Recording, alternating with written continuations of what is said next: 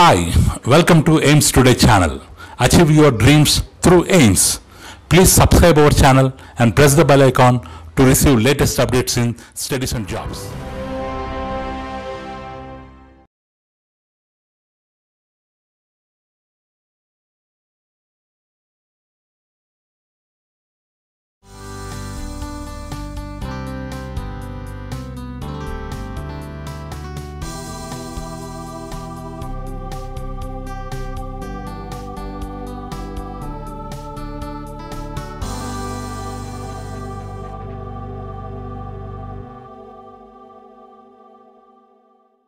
Hello students, today we shall perform an activity to verify Pythagoras theorem.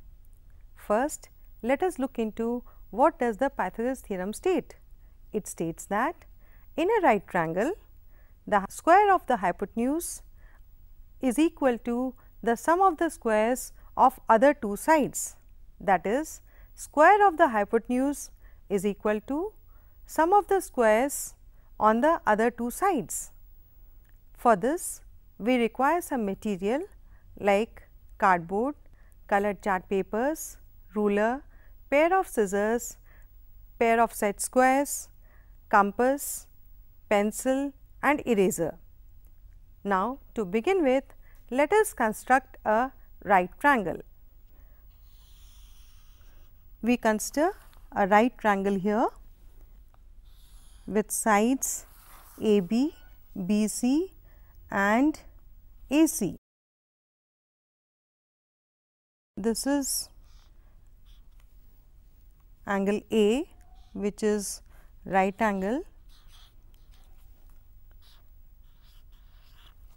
This is point B and this is C. So, we have a right triangle ABC.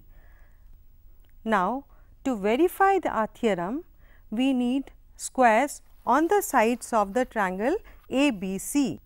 We denote the side opposite to angle A as small a and the side opposite to angle B as small b and the side opposite to angle C as small c.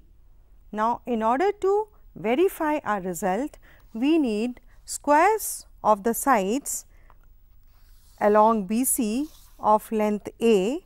So, we construct the square and you can see here that this square is of area A square. Similarly, we construct squares on the sides along AC whose length is B. So, what will be the area? It will be B square. Same way, we have length C here and we need to construct a square of length C. This is our square C whose area is C square. We also prepare cutouts of uh, the length squares of length A. Here this is the square of area A square. This cutout is of square having area C square and here is a square of length B and area B square which is placed along AC. Now, in order to verify our theorem, we need to do some constructions. Look here, first of all we join the diagonals AI in this manner and also we join HB. This is also a diagonal and both the diagonals intersect each other at point O. Now, with the help of set squares, we will construct a line parallel to hypotenuse. Here, we will construct a line RS which is parallel to hypotenuse. This is a hypotenuse BC and in order to draw a line parallel to it, we just slide this set square and this way we can construct a line passing through O. This is a line R s parallel to hypotenuse BC. Now, we also construct a line perpendicular to uh, we, we construct a line PQ which is perpendicular to line RS in this manner.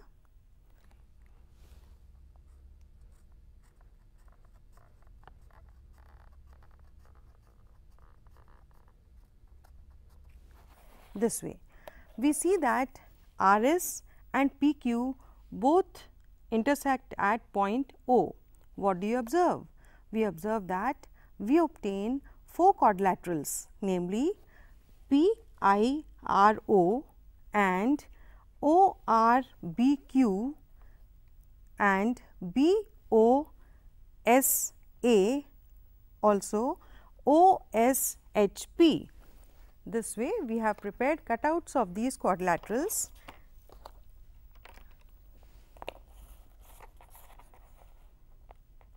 This is our first quadrilateral.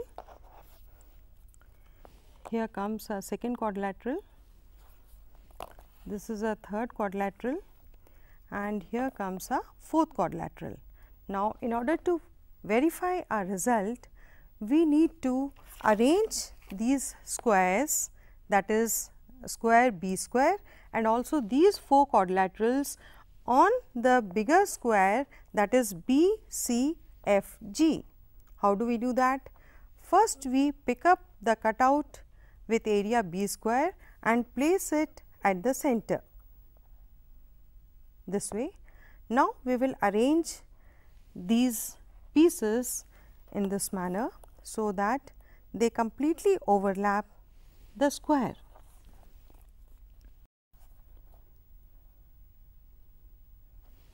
This is a third quadrilateral and this is a fourth quadrilateral.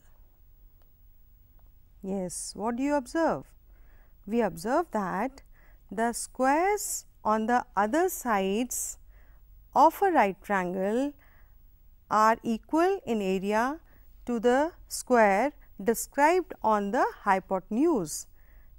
These four quadrilaterals and the square completely overlap a square BCFG, thus verifying our result. The area of the square described on the hypotenuse is equal to the sum of the areas of squares described on other two sides. Thank you.